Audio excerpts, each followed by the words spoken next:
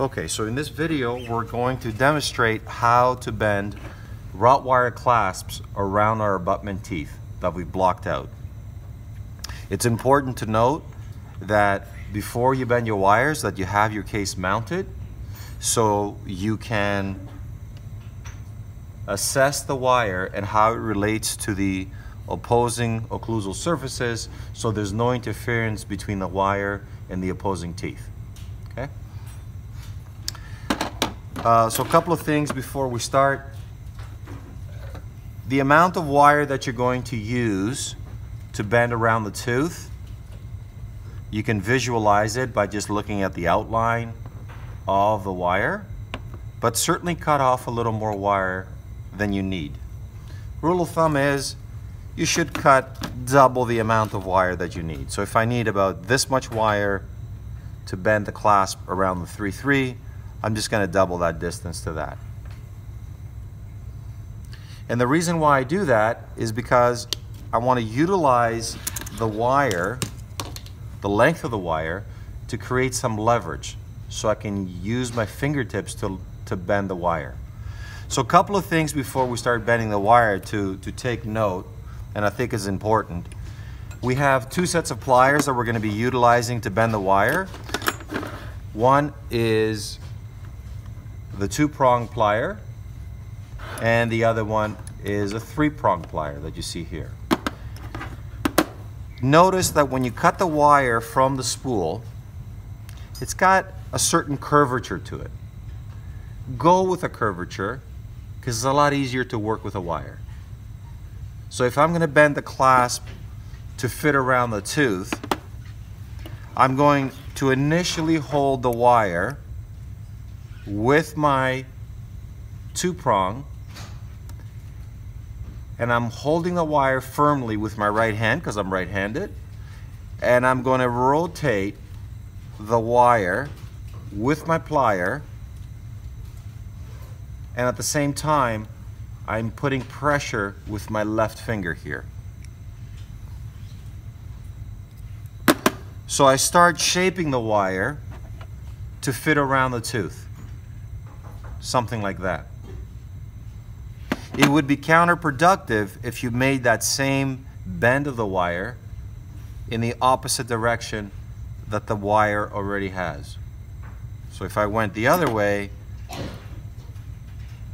it works, but certainly it's counterproductive. I think it'll still work we also need to understand that the wire has some elasticity to it, but at some point it's got a proportional limit that once we bend the wire to a certain point, we can't really flex it back. And the more we more work we put at one area of the wire, uh, the weaker the wire becomes. The fact that I just made a curve or a turn on this wire, I actually stretched this part of the wire. You can't see it, it's very minute, but you end up stretching the wire. The sharper the angle, if I did that, that part of the wire right at the corner is a lot thinner than, than it was before because I had to stretch the wire. As I'm bending it, I'm actually stretching the wire and it becomes a little bit weaker. But Regardless, the wire looks like it's intact.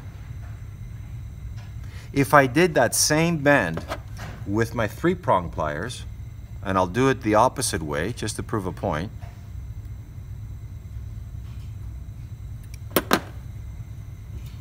I actually made a little notch on the wire here and here because of the pressure that I'm applying with my three prong.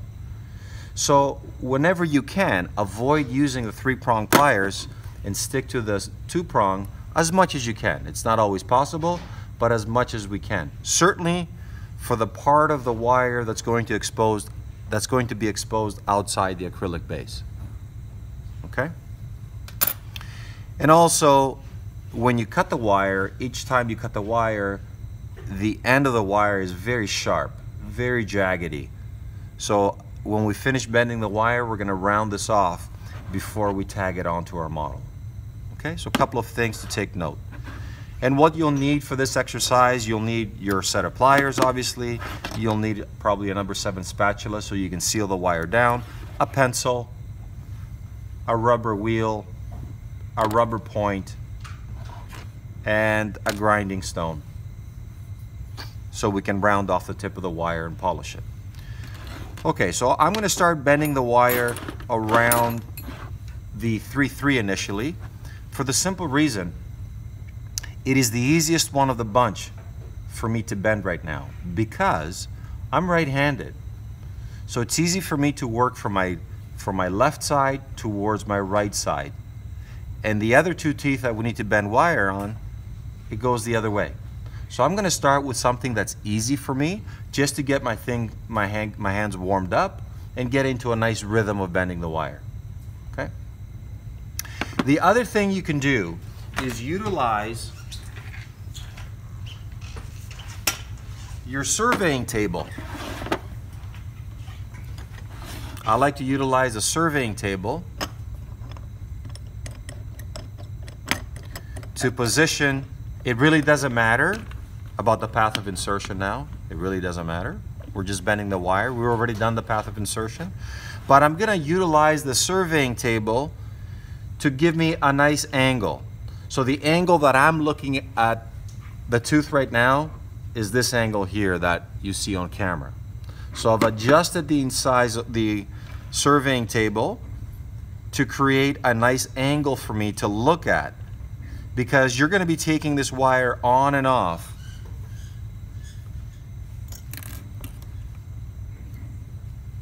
a lot of times by the time you get it right you're going to be going on and off. By the time you adjust it and you get all the way to the end and cut it. So it's important that every time that you place the wire back on the cast, that you reestablish the same position because every bend that you make on the wire is relative to the one before. Okay, so the first bend we're going to do is we're going to start with the tip of the wire, the terminal tip of the wire, the part of the wire that engages the undercut, and then gonna, we're gonna make our way around the tooth to the guide plane.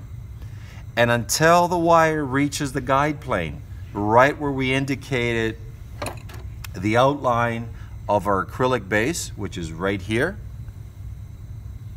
that part of the wire needs to be perfectly adapted to the surface of the tooth, of the abutment tooth. Okay, so you cannot have any gaps between the wire and the tooth itself. So I'm going to start with bending the wire. And again, this is probably a little more than twice the length that I need. I need about that much wire. And I've cut off a little more than twice the length, maybe two and a half times the length. Okay, so I'm going to start with the wire by holding it inside my two prong. And note that the two prong pliers has a rounded side and a square side and we'll get to uh, a little bit later on how to use the different sides. But I'm going to rotate my wire by holding my wire, pinching my wire with my pliers into place and rotating my wire around the rounded side of the pliers. And as I'm doing this, I already have an image in my mind of that line. And that's why it's important to have a nice uh, accurate outline because it creates a nice visual so when you start bending the wire you sort of duplicate that. So I think I'm there, but let's try.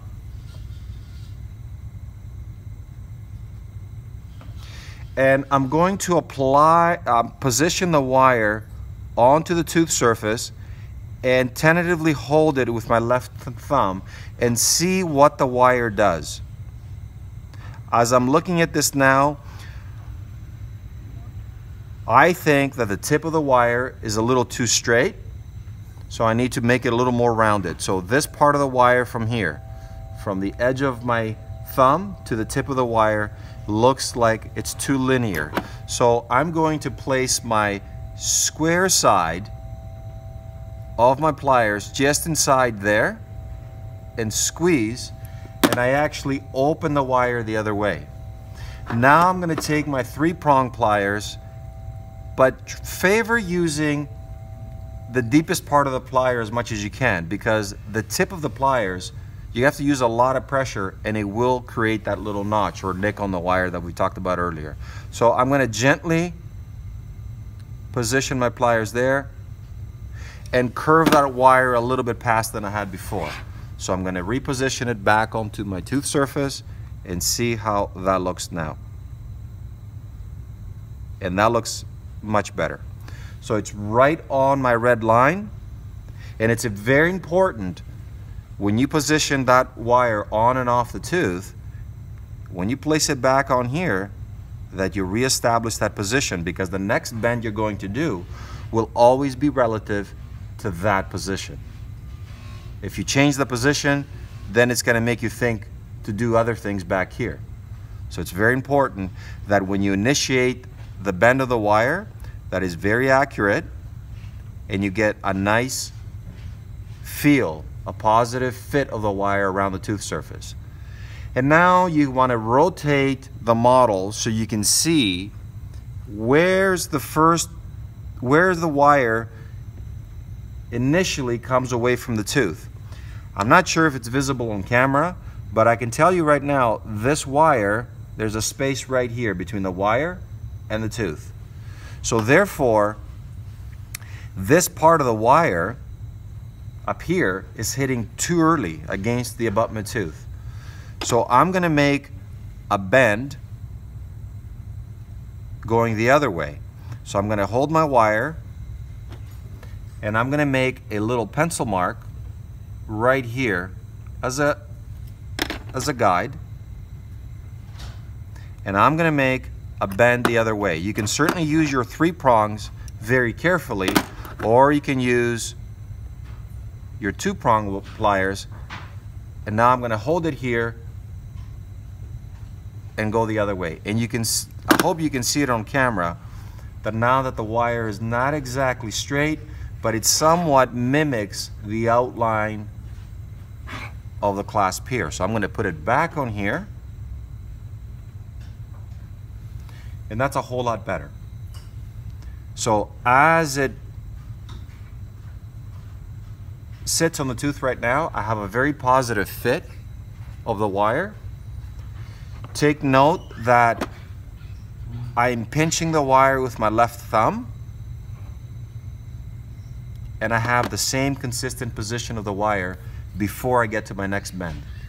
So now that I'm moving along, the next part of the wire that I see pulling away from the tooth is up here somewhere. It was here before, now I'm going to move to the next section. And I'm going to make a pencil line here and this is where things become rather difficult because now I have to bend the wire around the tooth, stay on or above the height of contour, and start embedding the wire into the acrylic base. So there's a lot of things that are going to happen here and they need to happen all at once. And eventually, I mean, it takes time to do this, but like with everything else, it's possible. So I got my little pencil mark here. and I'm going to take the wire off. And it's also important to note that when you're bending the wire, hold it while it's off the model as if it was on the model. So therefore, I'm going to take it off the model and hold it in the same angle that was previously sitting on the model. So I'm not going to take the wire and twist it this way and start bending it. I want to have this image, this visual visualization that it's still sitting on the tooth surface. And what I do is the bend that I'm going to make next, I always like to make the next bend directly away from me. So in order for me to go around this tooth, I want to rotate this model as if the next bend that I'm going to make for this wire is going to go directly away from me, this way. So therefore, I'm going to remove the wire, I'm going to hold it as if it's still sitting on the model, the same angle. I'm not going to twist it one way or another, as if it's still sitting on the model. I'm going to use the tip of the two prong, the rounded side, and all I have to do is adjust this plier, and this is where you need to practice, and make that bend utilizing the length of the wire as leverage so I don't create any notches or nicks on the wire and make that wire bending directly away from me. And don't do it excessively. See how it goes before you get too far. And you might have interference with the other side of the cast, which you can then just simply cut the wire a little bit short. But I think I'm on the right track here. So far, it looks pretty good. I need to get this part of the wire a little bit closer to the tooth.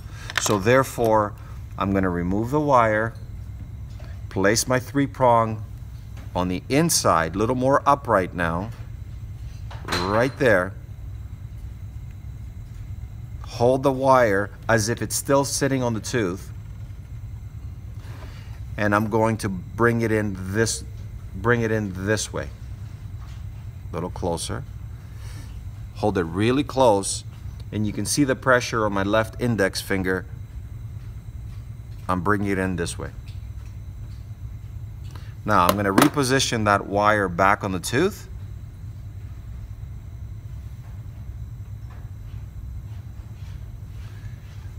That looks better. And now I'm gonna have to go towards the ridge in here. But when I do this, I have to pull away from the guide plane that we created through our block out to ensure that I have enough space with the, between the wire and the guide plane that this is going to be created in acrylic eventually to make sure that I have enough acrylic between the wire and the guide plane to ensure that the wire is totally embedded inside the acrylic. But now you have to assess how much you have to come down and out again. Because if you just bend it down, you're gonna have interference with your model here. So I see about four to five millimeter of length here, and then I'll have to bend the wire the other way so I can assess the wire. So I'm gonna remove it again. And you, again, you can use your two prong, but I'm going to use my three prong here, but not to squeeze the wire excessively. I'm just holding it now. And as I'm holding it, I'm pulling down this way. And I determined that I have about four to five millimeter of travel before I hit the ridge. So now I gotta go the other way to be able to assess the wire. And that's the tough part. So let me see what I did here. That looks pretty good, but this wire is very tight right up against the guide plane. It's touching my wax now. And until you get a sense of having enough distance with the guide plane, you need to do the block out because it gives you a good visual that, that you're too close to the guide plane. You need to be away from the guide plane about 30 degrees or so. So in order for me to bend this wire out, I can simply put my two prong in here and hold that first piece of the wire and then use the length of the wire as leverage and pull it away. Let's see how that looks.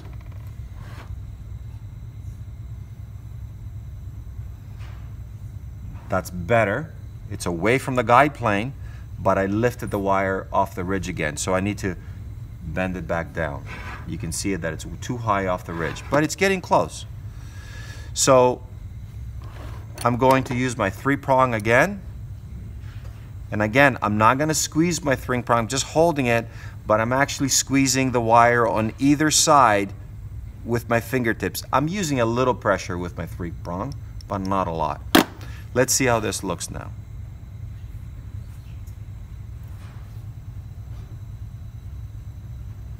That looks good, but this part of the wire now is preventing me from assessing what I've done here. So therefore, I need to cut this wire before it starts to hit the cast. Somewhere here.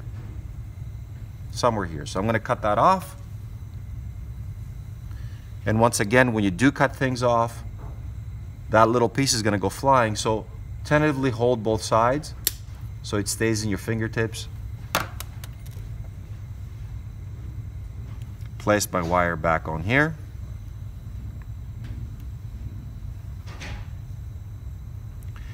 I am, the, the wire is sitting completely over the red line and I'm entering into the acrylic base. I'm still a little too close to the guide plane. So I need to move this wire away from the tooth some more. And very often you can do that by just putting the flat portion of your two prong in here and squeezing the opposite way, just like that. Let's see that again. So there we go. So I'm away from the guide plane. This is the distance that I want to see, about a 30 degree angle between the wire and the guide plane itself in here. The top of the wire, as it enters the acrylic base, it's on or just above the height of contour. And the wire down here, you should have enough relief to allow acrylic to flow underneath it, no less than half a millimeter. And just lock this back on here. And now we can start creating that zigzag effect with our wire so it retains inside the acrylic base. So it doesn't twist inside the acrylic, otherwise it will. So I've made one little angle here. And now, again, you have to remove the wire and visualize the angle of the zigzags so you're parallel to the model surface Otherwise, if you make it the other way, it's going to create a lot of height in the wire. So the angle that I'm seeing now is this angle here. This angle this way. So I want to bend the wire this angle, not up and down like this, zigzag this way, but this way in here to follow the model surface and be parallel to the model surface. Not an easy thing to do. But I think if you hold it in the same way as if it was sitting on the model, it's a lot easier. So I'm going to go that way, that way, and I'm going to rotate again and do about four or five of them. And you can always cut it shorter if you have a little too much. And I think that's enough. So we got one, two, three, and a tip. So again, I'm going to hold the excess wire here, and I'm going to cut it at the same length as the rest of it. And now I got to place it back on here. Did I nick the wire while making the zigzags? I probably did, but it doesn't make a it doesn't make a big deal. It's not a big deal, or it doesn't make a huge. Um, it's not a big issue because that part of the wire is going to be embedded inside the acrylic. You're not going to see it and it's not going to affect the overall strength of the wire.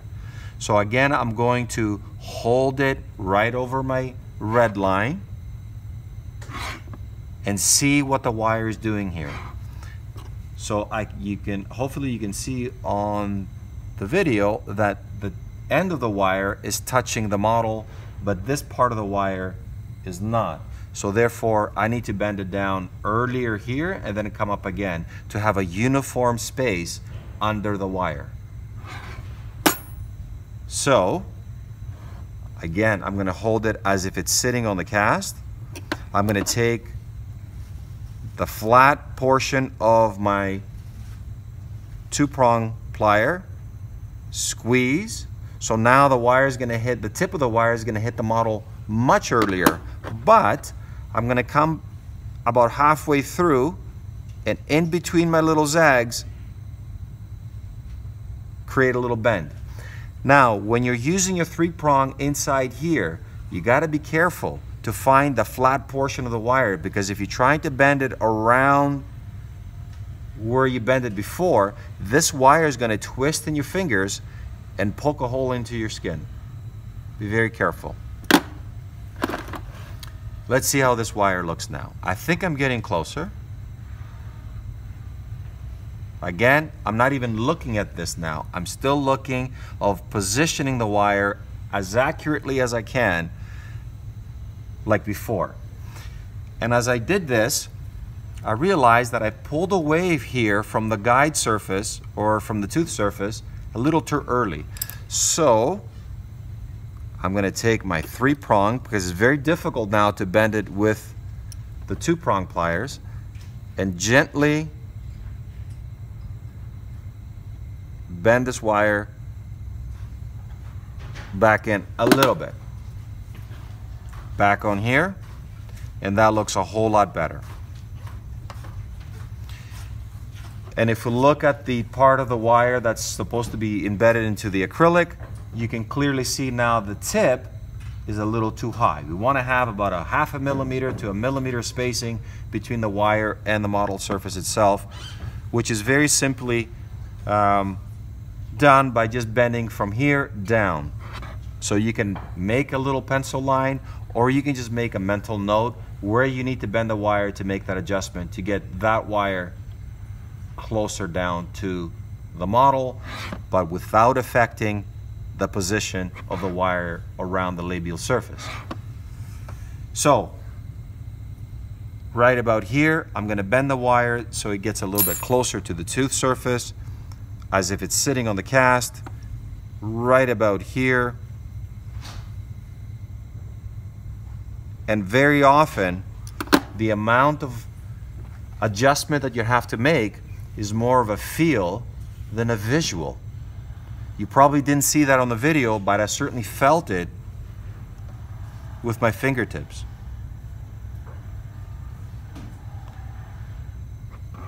And there we go.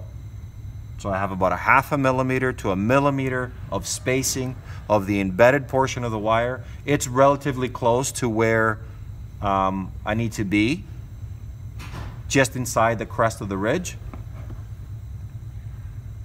So when you're satisfied with the shape of the wire, I'm just gonna bend this tip down a little bit more because I feel like it's poking up a little bit away from the cast.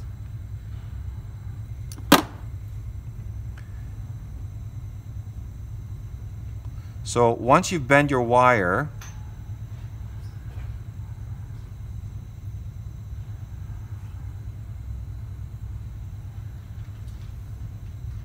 Just want to make sure that I'm on the right spot. That looks good.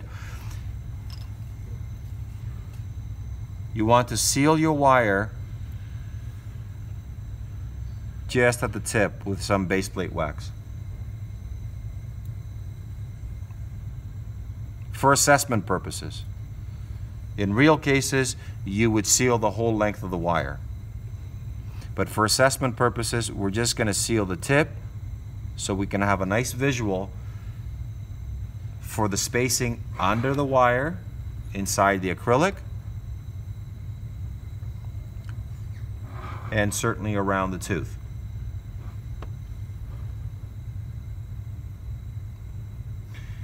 Uh, I will bend the other two wires off camera and then we'll take a closer look uh, and assess these wires a little bit closer.